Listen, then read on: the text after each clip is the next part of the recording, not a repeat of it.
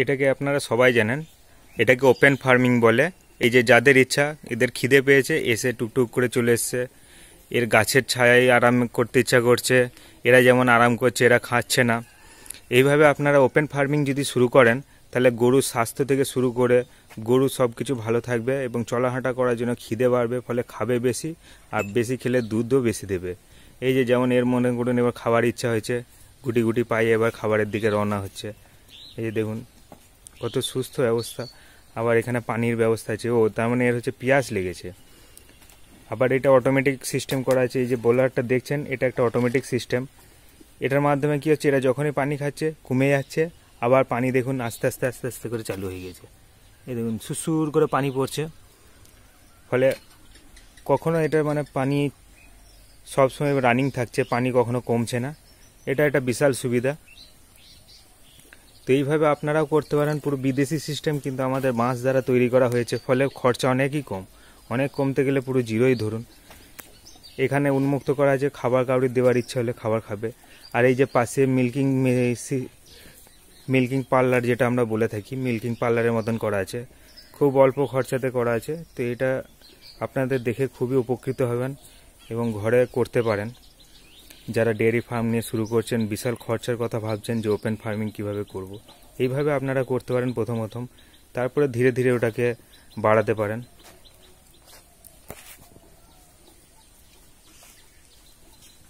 এই যে মিল্কিং করার জন্য এবার দরজা খোলা হচ্ছে। একটা একটা করে গরু এবার মিল্কিংয়ের জন্য আসবে। এই যে জল খেয়ে নিল, এবার ও খাবার চেষ্টা করছে। এই যে এবার গরুগুলোকে সব বের করবে। মিল্কিং করার জন্য মিল্কিং পার্লারে নিয়ে আসবে।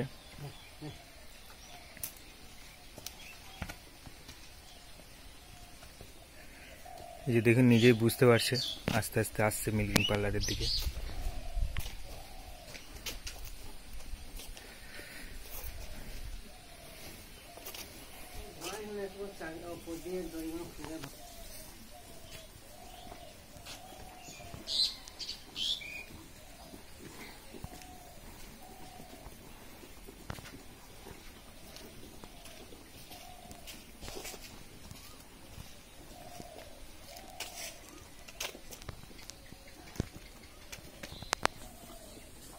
এই যে এইটা উন্মুক্ত বাচ্চাদের ঘর। বাচ্চাদের ঘরে ছোট করে বাঁশ দিয়ে করা আছে। এই যে দেখুন বাচ্চাগুলো, এইখানে বসার ইচ্ছা, এইখানে বসে আছে, দেখুন। এই যে নিজের মতন জাবর কাটছে। তো এদেরও জায়গাটা অনেক যথেষ্ট বড়। এই যে যেমন এখানটা পাকা করা আছে, এখানটা খাবার ব্যবস্থা করা থাকে। এই যে খাবার দেওয়া আছে আর জলটা দেওয়া আছে এক জায়গায়। ব্যাস। আপনি এখানে যত খুশি এবার বাছুর রেখে দিন, কোনো টেনশন নেই। যে এদের আবার ঘোরার জন্য বারান্ডার মতন করে দেওয়া আছে। এই যে বাচ্চাগুলো এখানে বসে আছে, দেখুন সবাই। ওদের এখানটা ভালো লাগছে হয়তো কোনো কারণে। সেই কারণে এখানটায় বসে আছে। এই যে অনেকটা জায়গা দিয়েছে এবং ভবিষ্যতে এখানে এমনভাবে সিস্টেম করা আছে যে এই যে এখানটা ওই বড়দের মতন খেতে দেওয়া যেতে পারে। এইভাবে সিস্টেম করে রেখে দিয়েছে। ঘাস লাগানো আছে। খুবই সুন্দর একটা পরিবেশ ক্রিয়েট করা হয়েছে, যেটা সম্পূর্ণ গ্রামীণ পদ্ধতিতে কোনো রকম বেশি খরচার মধ্যে এটা যাওয়া হয়নি।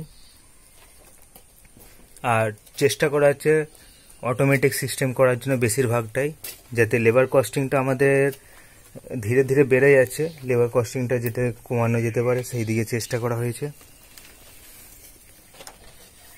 এই যে সব গিয়ে উঠিয়ে দেওয়া হচ্ছে। এবার আস্তে আস্তে সব আসছে। যার জল খাওয়ার ইচ্ছা খাচ্ছে, যার খাওয়ার ইচ্ছা নাই বেরিয়ে যাচ্ছে। এই যে পেট দেখুন, শরীর স্বাস্থ্য দেখুন শুধু। এক একটা গরুর শরীর স্বাস্থ্য দেখুন। নিজের ইচ্ছা মতন খাচ্ছে, দাচ্ছে বলে শরীর স্বাস্থ্যগুলো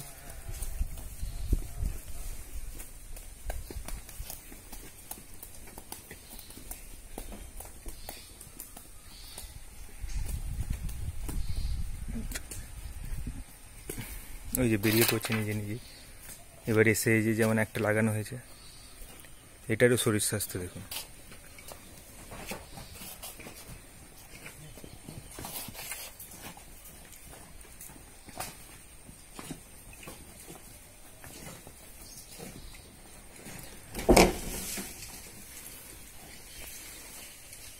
এটাকে মেন দেখানো হচ্ছে, কেউ যদি মনে করে যে বিদেশি সিস্টেম এত খরচা আমরা করতে পারব না এই এত কিছু আমরা কি করে করব?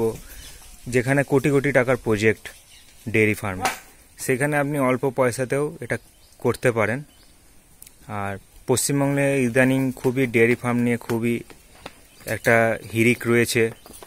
তো আপনারা এটা যদি কোনো রকম কোথাও কিছু বুঝতে অসুবিধা হয় বা কোথাও কিছু বুঝতে পারছেন না এটা কীভাবে করব, অবশ্যই আমার সাথে যোগাযোগ করবেন। আপনাকে সেটার সলিউশনটা আমি যত দেওয়ার চেষ্টা করব।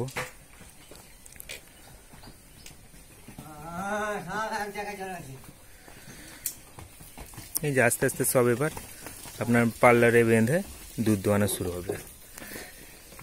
এখানে মেশিনও ছিল, কিন্তু মেশিনটা ইদানিং খারাপ হয়ে গেছে এবং লকডাউনে সেটা ঠিক করাতে পারছে না বলে কিছুদিন হ্যান্ড মিল্কিং হচ্ছে।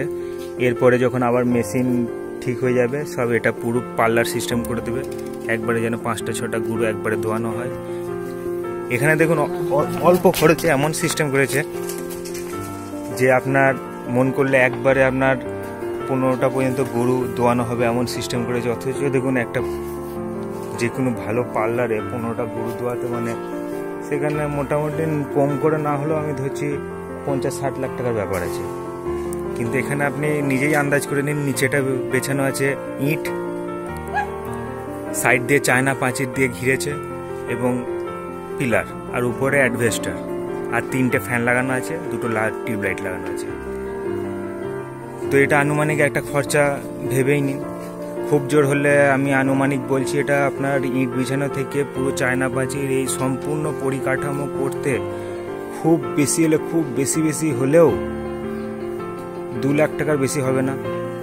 এবং মেশিনটাও আপনাকে দেখানো হবে পরবর্তী খুব কম পয়সাতে মেশিনটাকে মানে পার্লার সিস্টেমে করে নিয়েছে। এটা লকডাউনের পরই দেখাতে, দেখানো যাবে বলছে, কারণ এখনও পর্যন্ত মেশিনটাকে রানিং করেনি। ওই লকডাউনের জন্য কিছু পার্টস আনাতে হবে। তো কোথায় আপনার চল্লিশ পঞ্চাশ লাখ টাকা আর কোথায় দু লাখ টাকা? তাও আবার তাদের দশটা আপনি সিস্টেম করতে পারবেন, এখানে পনেরোটা অবধি করা যাবে। এবং চাপাচাপি করে ধরলে কুড়িটাও পর্যন্ত করা যাবে বলছে। তা আপনি বুঝতেই পারছেন।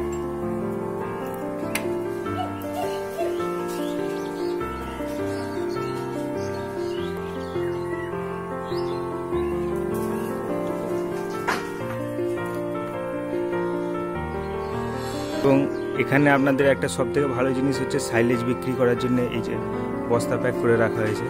এখানে অর্ডার আসার সঙ্গে সঙ্গে এই বস্তাগুলো বেরিয়ে যায়। তো এটা একটা খুব ভালো সিস্টেম